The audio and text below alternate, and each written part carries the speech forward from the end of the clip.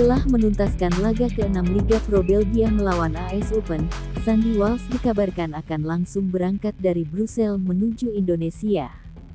Sandy Walsh merupakan salah satu pemain yang dipanggil Sintayong memperkuat timnas Indonesia dalam agenda FIFA Matchday September melawan timnas Turkmenistan pada tanggal 8 September di Stadion Gelora Bung Tomo, Surabaya.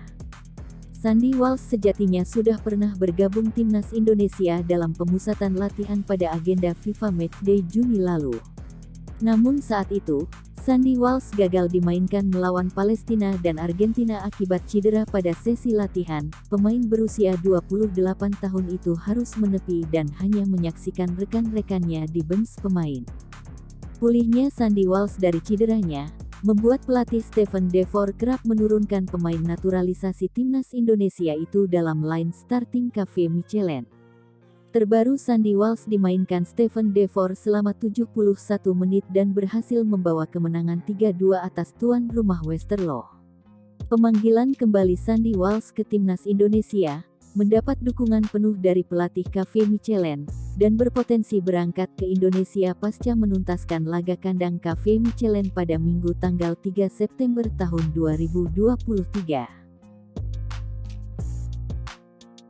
Sementara dua punggawa timnas Indonesia yang berkarir di negeri jiran Malaysia, Jordi Amat dan Sadil Ramdhani, Kedua pemain tersebut mendadak mendapat pujian setelah Sintayong memanggilnya memperkuat timnas Indonesia di FIFA Matchday September.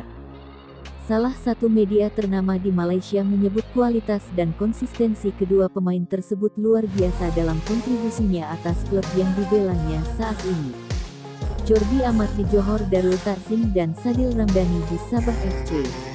Pemanggilan kedua pemain yang berkarir di Liga Malaysia tersebut, khususnya Jordi Amat, menjadi sebuah kekuatan besar bagi timnas Indonesia dalam mengantisipasi serangan-serangan pemain Turkmenistan, ucap media tersebut menambahkan. Menghadapi Turkmenistan di FIFA Matchday September, sepatutnya harus dimaksimalkan dengan baik Sintayong dan timnas Indonesia dengan target 3 poin.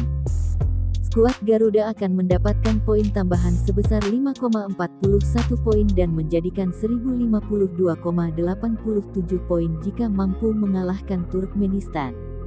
Tambahan poin tersebut berdampak positif pada peringkat Indonesia, dari peringkat ke-150 berpotensi naik menjadi ke-148 dengan menyenggol dua negara Afrika, yakni Liberia dan Botswana.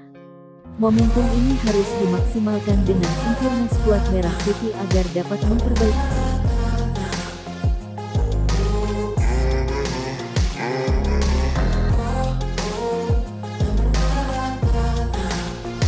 sahabat bola nasional di mana pun anda berada.